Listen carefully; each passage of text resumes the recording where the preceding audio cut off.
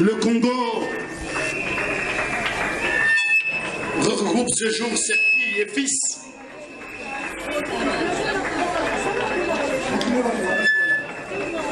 Là, dé.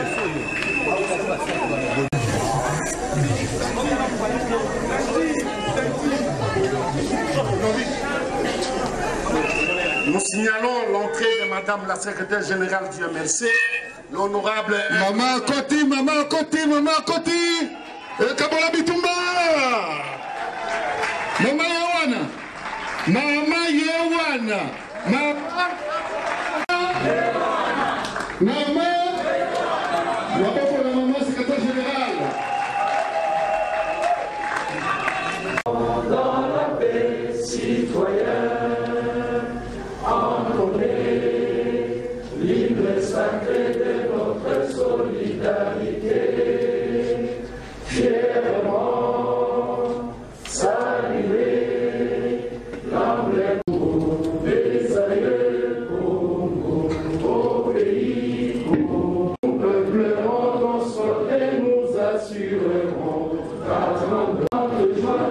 jour sacré, sois le témoin, jour sacré.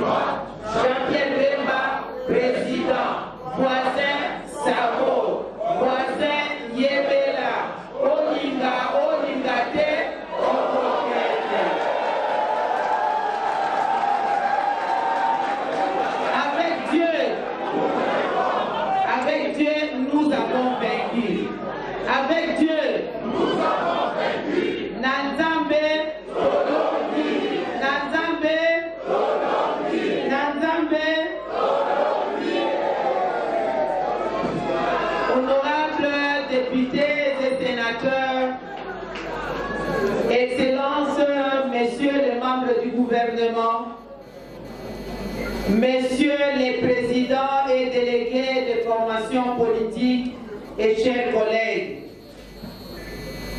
camarades, hauts cadres, cadres militants du parti, distingués invités, militantes et militants, chers participants, à vos titres et qualités observés. Avant toute chose, je tiens à rendre grâce à Dieu pour l'occasion qui nous est offerte, que je qualifie de grandes retrouvailles.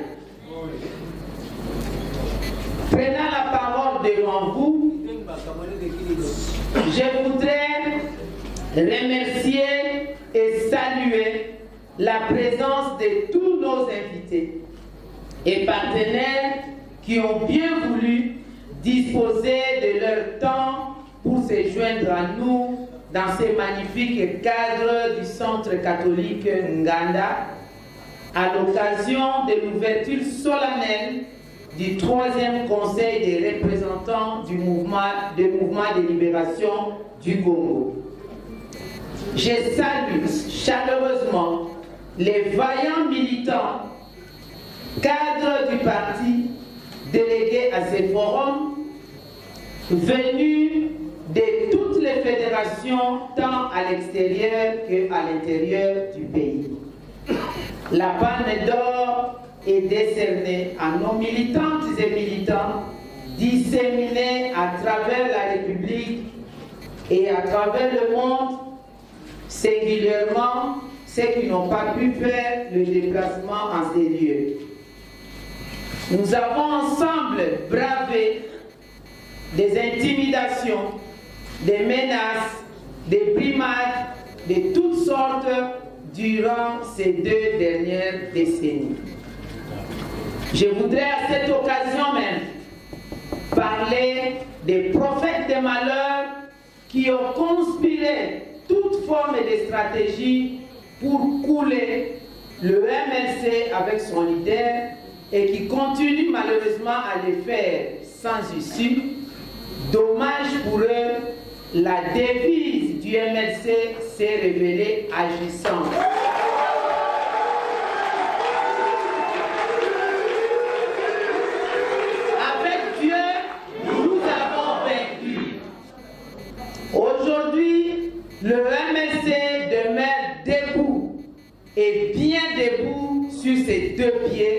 Avec fermeté et assurance, apte à conquérir les épisodes prochains jusqu'à la conquête effective du pouvoir de manière démocratique. C'est ça la fierté d'être MLC. Côté MLC,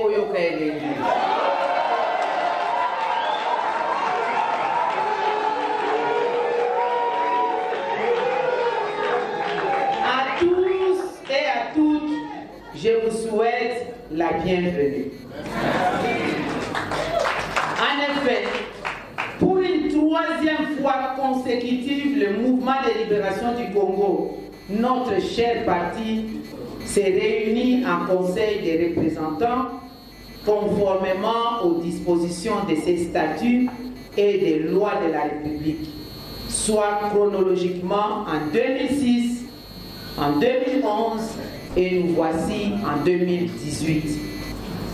Comme vous le savez, la convocation de ces forums correspond traditionnellement à la clôture d'une législature constitutionnelle, ouvre et relance en même temps les enjeux politiques dans la perspective d'une législature nouvelle dont la tenue des élections à tous les niveaux marque la passation physique du pouvoir. Distingués invités, chers camarades, réaffirmant ainsi ici la devise du mouvement de libération du Congo, ceci demeure l'unique boussole qui doit guider nos actes et nos pensées. Voilà pourquoi je vais vous inviter tout à l'heure à vous lever, non seulement pour procéder à cette récitation, mais en plus élever nos voix dans la dévotion envers Dieu pour les remercier et recommander nos assises à l'Éternel notre Dieu qui a permis la tenue de ces forums. Une occasion donnée pour saluer la mémoire collective de nos camarades qui sont tombés en pleine lutte.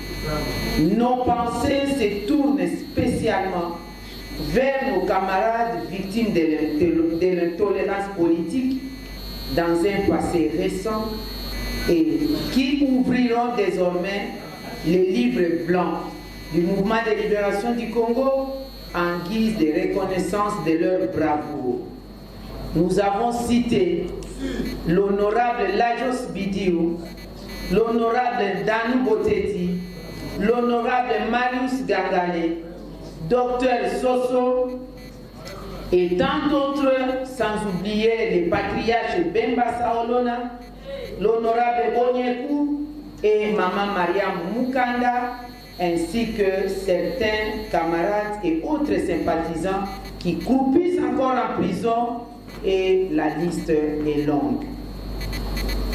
Une pensée pieuse en leur mémoire est vivement recommandée.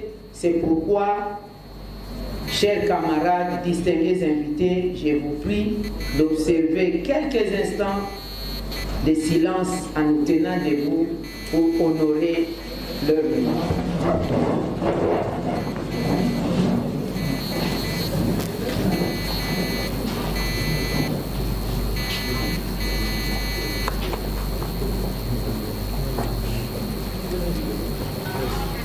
Merci beaucoup.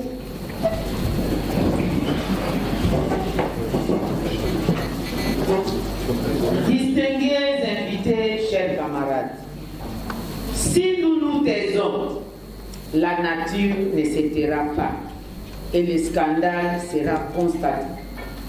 Ce troisième conseil des représentants du mouvement de libération du Congo intervient à un moment dit événementiel et de la visitation divine du peuple congolais.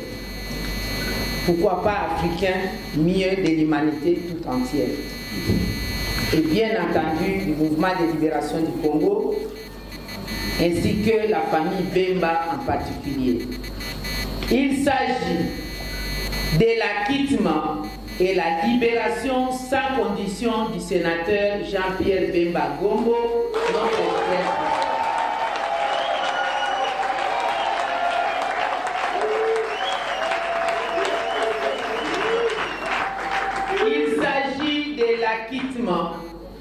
libération sans condition du sénateur Jean-Pierre Bemba Gombo, notre leader président. La justice divine a pris le dessus sur la justice des hommes. Après dix années de tergiversation judiciaire à la Cour pénale internationale. Nous disons pour cela gloire à Dieu. Événementiel également parce que le mouvement de libération du Congo totalise et célèbre ses 20 années d'existence. C'est 30 septembre 2018. Un événement qui s'est fait et doit être fêté dans une pédagogie de rappel des troupes dans la perspective électorale en vue axé essentiellement sur la couverture totale du terrain et l'encadrement de nos candidats. Chacun en son retour dans son fief devra s'exercer sans désemparer à cette tâche d'engagement renouvelé du parti. Distingués invités, chers camarades, tel que libellé dans la décision convoquant ce troisième conseil des représentants, un seul point est inscrit à l'ordre du jour, à savoir le processus électoral en République démocratique du Congo. Nous sommes donc venus scruter le processus électoral dans notre pays dans lequel le mouvement de libération du Congo prend une part active en tant que partie prenante. La mise en œuvre de ces processus, comme vous le savez, était maillée de plusieurs contraintes, notamment l'intrusion illégale de l'usage de la machine à voter, la fixation du seuil, le dernier rapport de l'OIF sur l'audit du fichier électoral, vous savez, ce fichier est corrompu avec plus ou moins 10 millions d'enrôlés fictifs le phénomène des doublons des partis politiques, l'essor des frais de dépôt des candidatures versés en 2015 pour les élections provinciales avortées, ce qui requiert une dose supplémentaire de conscience et d'engagement de la part de chaque participant ici présent. Pour y parvenir, les travaux en atelier devront être faits avec beaucoup de sérieux et de hauteur afin de produire une expertise électorale typique au mouvement de libération du Congo. La légèreté, le, clientélisme et l'antagonisme sont à bannir dans l'élaboration des critériums des candidats, beaucoup plus dans la sélection des candidats. Ce sont là des mots qui rendent inefficace toute forme de stratégie qu'on mettrait en place. Nous aurons par conséquent validé les listes des candidats en toute confiance et simultanément investi notre candidat à la présidentielle avec assurance. Les participants devront, si possible, examiner la possibilité d'inscrire les principes de seuil électoral au sein du parti, c'est-à-dire chaque fédération sera ainsi appelée à atteindre un score électoral au sens de son apport à la conquête du pouvoir. ce qui permettrait à la haute direction du parti de disposer d'un tableau de bord avec les chefs d'action dans les différents territoires du pays pour les échéances prochaines et à venir. Après 20 années d'existence, le mouvement de libération du Congo est appelé à interroger l'histoire pour bien ménager sa monture. L'expérience du passé doit nous servir de luminaire avec une évaluation sans complaisance de nos faiblesses, lesquelles doivent être relevées et prises en compte dans la confection de notre agenda du moment. Cet exercice est valable pour deux présidents scrutins. Il faille pour ce faire envisager la constitution d'un atelier à part entière devant plancher sur les questions et de même pour les suivis des résultats dans le cadre des contentieux électoraux et des résultats dont pour la plupart des cas, l'on a enregistré des confusions par négligence. La préparation et sélection des témoins à temps utile afin de disposer des procès-verbaux des résultats en cas de contentieux. Les choix des thèmes de communication électorale à l'intention des candidats pour mieux arranger la foule et persuader aussi les militants et sympathisants. Le programme du gouvernement a assimilé, adopté une effigie unique du président pour tous les candidats et j'en passe.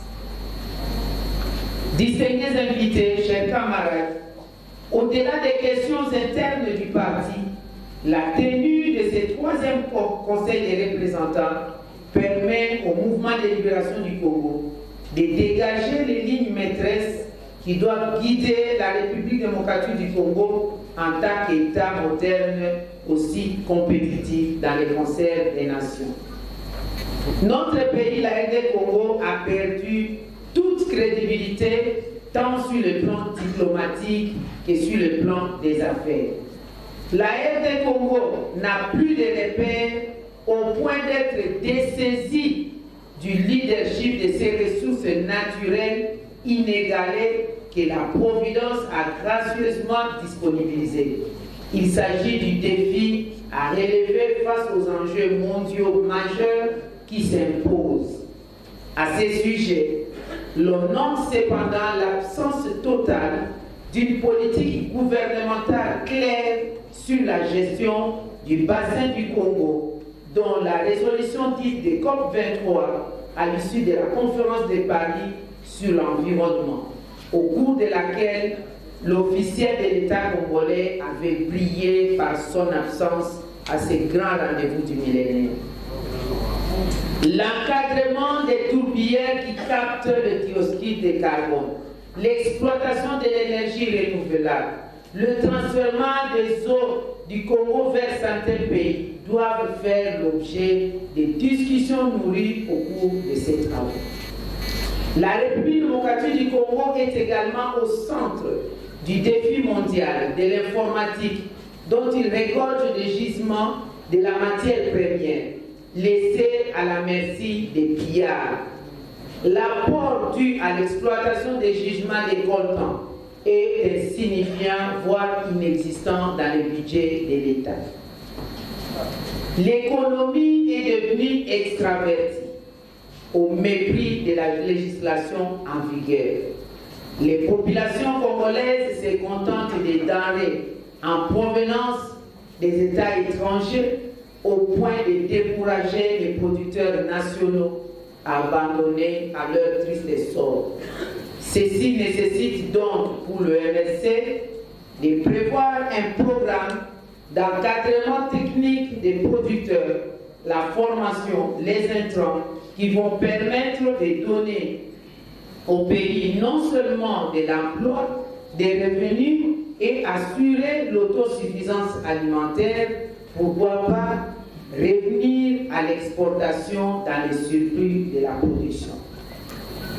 Aucun engagement de la part du gouvernement comparativement il y a 20 ans où les banques de crédit agricole, la Banque du peuple, les fonds pour la promotion de l'industrie volaient au secours des petits commerçants. Par ailleurs, devenue la risée au plan diplomatique, la République démocratique du Congo a du mal à faire consommer ses actes de chancellerie. Quoique signateur de la Convention de Vienne, les passeports congolais ainsi que d'autres actes de chancellerie sont déconsidérés. Des membres du gouvernement et plusieurs autres officiels se voient de temps en temps privés des visas ou bloqués à l'étranger à cause de la faiblesse qu'accuse notre pays dans ces domaines. Autrement dit, les rapports de force mettant la RDC aux prises avec d'autres États sont à sa défaveur. Cet état des choses, cet état des choses devenu récurrent, vient de se prononcer ouvertement au sein de la commission du Conseil des Nations Unies pour les droits de l'homme, un État puissant de ce monde a même déclaré indigeste la dite, le dit Conseil des droits de l'homme si jamais la RDC siégeait. Loin d'un prétexte, cet État a qualifié et classé la RD Congo parmi les États où règnent des graves violations des droits de l'homme. Une réalité certes vivante que le MLC attend assainir, accorder une attention particulière. L'impunité s'est instituée en mode de gouvernance. Les acteurs politiques, les activistes de la société civile et des droits de l'homme, ainsi que les journalistes sont exposés au quotidien à des graves violations des droits de l'homme par ceux-là même qui sont censés leur garantir. Distingués invités, chers camarades, la République démocratique du Congo présente à ce jour une image de non-État. La défense et la sécurité des personnes et de leurs biens, première mission dévolue à un gouvernement responsable, sont devenues un rêve pour les Congolais. Offre une perméabilité d'environ 132 groupes armés nationaux et étrangers incontrôlés s'y installent confortablement. Les populations locales vivent désormais en peuple nomade, sans une seule protection émanant des pouvoirs publics. Contre toute attente et chose grave, l'on est revenu à la case de départ et tout est à recommencer. Les textes légaux de la République sont bafoués à dessein avec arrogance tandis que les textes internationaux, quoique ratifiés, demeurent lettres mortes. Les cas clients concernant ceux qui ont trait à la promotion des droits des femmes, de la dimension genre et l'encadrement de la jeunesse aux standards internationaux, ratifiés avec pompe, souffrent cependant de l'inexécution. Ces deux composantes devront s'exprimer dans les ateliers au cours de ces travaux. Et également aucune. Comment, comme, comme qui dirait, le peuple congolais vit dans son propre pays sans dispositif de défense, de sécurité et de justice garantis par l'État. Il faille attentivement examiner cette question en scène des ateliers. Ces désastres prononcés a consacré et occasionné à la face du monde l'absence remarquable de l'autorité de l'État avec incidence effroyable dans le social des Congolais. Le délabrement effréné des infrastructures de l'État n'interpelle en aucun cas l'autorité et en parallèle, les bradages des domaines et bâtiments publics sont réalisés en cascade sous l'habillage des programmes de gouvernement dits des cinq chantiers de révolution de la modernité. Les centres urbains sont devenus de véritables mouroirs à cause de la promiscuité des habitations et de l'instrument détérioré au point de recourir à la pratique de forage d'eau devenue rudimentaire. Les villes et cités autrefois éclairées sont aujourd'hui plongées dans une obscurité légendaire. Comment comprendre qu'un pays archevêtré de plusieurs cours d'eau dans son entièreté puisse souffrir des besoins d'eau et d'électricité au moment où l'évolution de la technologie offre suffisamment d'opportunités pour y accéder? À l'opposé, les pays désertiques avec des dirigeants consensuels pourvoient à ces besoins de manière efficiente à leur population respective. Ne pouvant se disculper à la face du monde, un rapport du PNUD venait de classer notre pays dernier pays de l'humanité à l'échelle de l'indice de développement humain. La santé publique est par conséquent mise à mal, ouvrant la voie à la résurgence des épidémies et maladies autrefois éradiquées. Dans le même registre, les parents ont perdu toute autorité dans les foyers, surtout vis-à-vis -vis des enfants, à cause de l'extrême pauvreté qui les couvre. L'accroissement de la délinquance juvénile, avec des phénomènes croissants des enfants de la rue, la déperdition scolaire, le chômage, les excès dans l'alcoolisme, la drogue, la criminalité, que sais-je encore? La dépravation des mers s'est installée sans aucune mesure, outre les infrastructures scolaires et universitaires en dégradation croissante. La qualité de l'enseignement s'est considérablement détériorée, beaucoup plus dans les établissements officiels. Le foisonnement des établissements scolaires et universitaires privés s'impose finalement sur les établissements publics. En dépit de la coopération, la fonction publique est complètement désarticulée. Elle se caractérise plutôt par l'absence d'instinct, la modicité et les arriérés des salaires pléthore et la difficulté à maîtriser les effectifs fonctionnels et agents publics de l'État. Les stages de remise à niveau ne sont plus envisagés et le peu qui peut arriver est en proie au tribalisme et aux pesanteurs politiques. La méritocratie a cédé la place au clientélisme et aux influences diverses non agréées. Ces tableaux sombres de gouvernance à la République démocratique du Congo nécessitent des réponses urgentes et appropriées à toutes ces préoccupations. Et le MNC de se préoccuper comment la République démocratique du Congo pourrait s'inscrire dans l'agenda des objectifs de développement durable à l'horizon 2030. Le mouvement de libération du Congo, à l'issue de ce troisième conseil des représentants, devra, sur base de toutes les défaillances relevées, produire un programme d'action du gouvernement bien ficelé à la hauteur de la crise.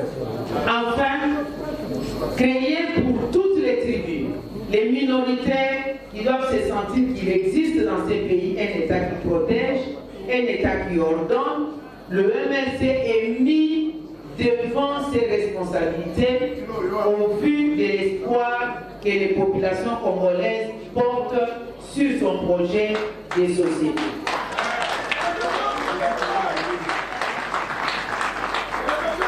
Je répète, le MLC mis devant ses responsabilités au vu de l'espoir que les populations congolaises portent sur son projet de société. Il s'agit de contextualiser les programmes du gouvernement à court, moyen et long terme dans chaque secteur de l'État. Il faut humaniser et socialiser les moyens d'action en mettant l'homme au centre des matières à reconquérir la dignité perdue du peuple congolais. Porter la République démocratique du Congo dans l'ordre mondial axé prioritairement sur la guerre des intelligences pour ne plus subir la réfraction et demeure pour nous un objectif final. Le fonctionnement du mouvement de libération du Congo, avec ses statuts, devront finalement faire l'objet d'un examen approfondi à l'horizontale et au vertical.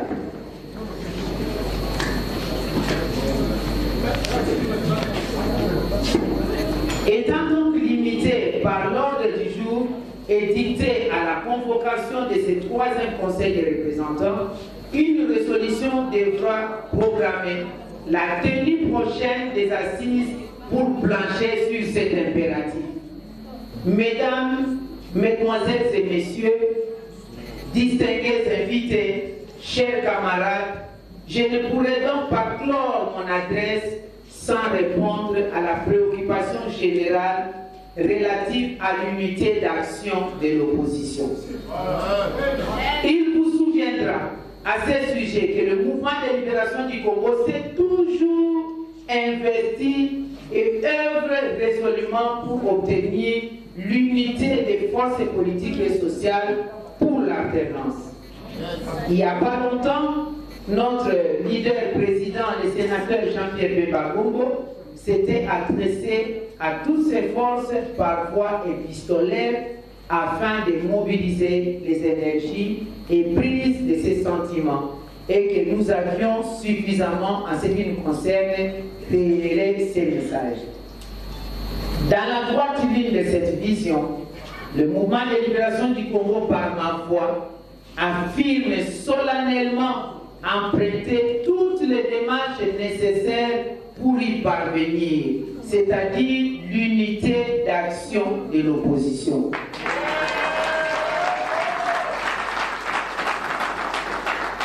C'est la seule condition pour assurer la victoire lors du prochain scrutin. Les combats pour l'alternance est l'affaire de tous. Chacun de nous doit s'y investir pour concrétiser cette attente de la population congolaise. Enfin, les présentes assises permettront par, ailleurs aux camarades venus de partout de faire connaissance pour les uns et de resserrer les liens pour les autres.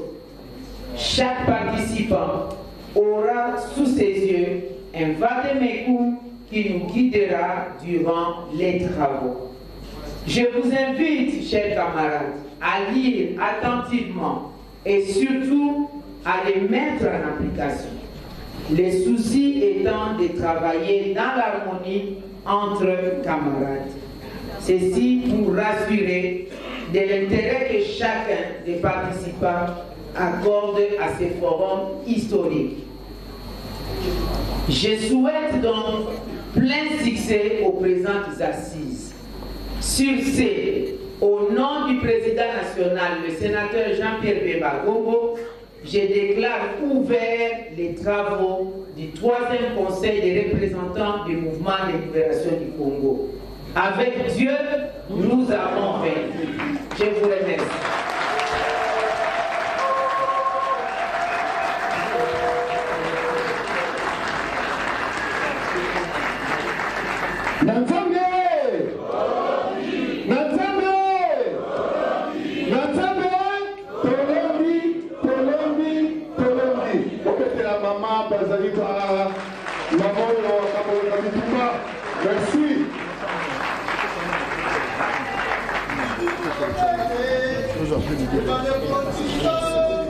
Emali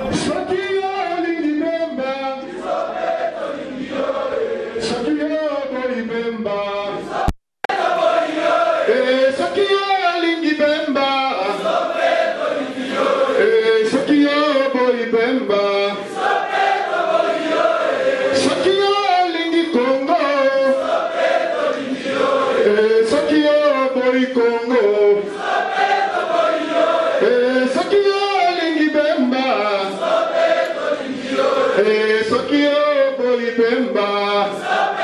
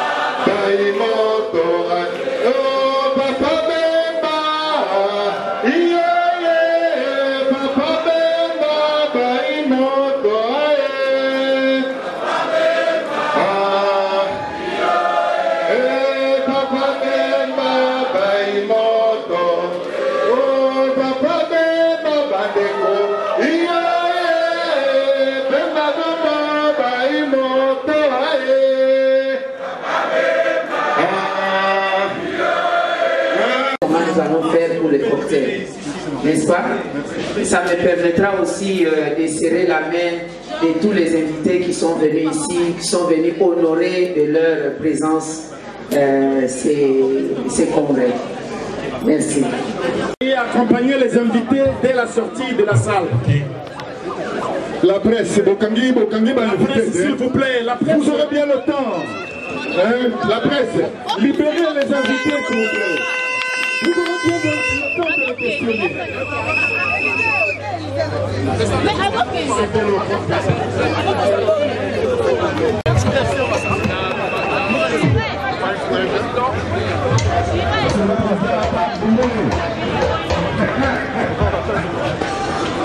Réaction par à cette. C'est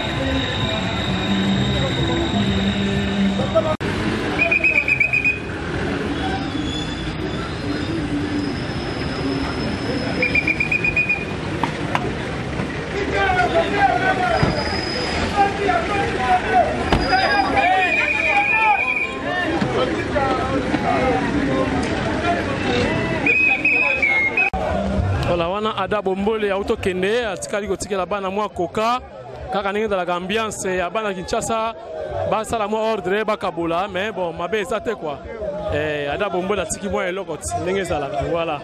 Ambiance ya politike ezalaka kaka boye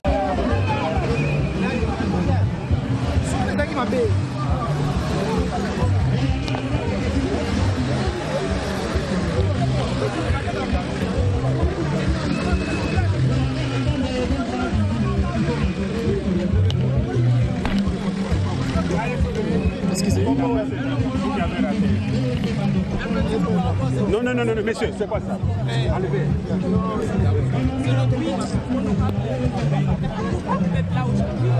Bon, je suis ici euh, comme invité. Le parti euh, image euh, d'invitation officielle. Nous avons eu l'autorisation du président national du PPRD qui est Joseph Kabila. Et comme tous les invités, nous sommes arrivés à la séance d'ouverture. Et ce que je retiens, c'est que euh, le MLT a convoqué son troisième conseil des représentants ou son troisième congrès extraordinaire, c'est selon, et que le message important pour le MLC à ces militants qui sont venus de l'intérieur et de l'extérieur, c'est se préparer, se préparer pour les élections qui pointent à l'horizon, les élections provinciales, les élections nationales et l'élection présidentielle. Ils vont travailler ici en atelier pour trouver des stratégies pour gagner les élections. Ils ont également parlé de l'état de la nation et ils se sont attaqués. C'est un parti de l'opposition, ce qui est tout à fait normal. Et c'est déjà entendu. Mais ça ne va pas là-bas, il n'y a pas de courant. Au-delà de ça, je crois que c'est une bonne initiative démocratique et citoyenne. Nous les félicitons et plein succès à ces travaux. Et vous ne craignez pas que ce discours-là puisse avoir de l'impact négatif euh, de, votre pays Pas du tout. Il parlait devant ses militants, ce n'est pas un problème. C'est déjà entendu. On parle toujours de ça. Il n'y a eu rien de nouveau à part l'organisation. Ils appellent à un candidat unique. Ils appellent à un candidat unique de l'opposition. Ça ne sonne pas les cloches pour la majorité Ah, c'est leur affaire. Ils sont libres. Hein. Nous, nous, nous savons que nous allons gagner. On aura la majorité absolue à l'Assemblée nationale. On aura la majorité dans les assemblées provinciales. Notre candidat président de la République sera élu et nous allons donc euh, faire en sorte que notre projet de société soit là pour le bonheur des Congolais. Et si Jean-Pierre Bemba revenait? Non.